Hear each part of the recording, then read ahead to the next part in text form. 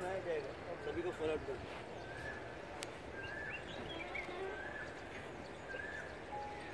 आप और आप मिलकर के सभी को पहनाएँगे।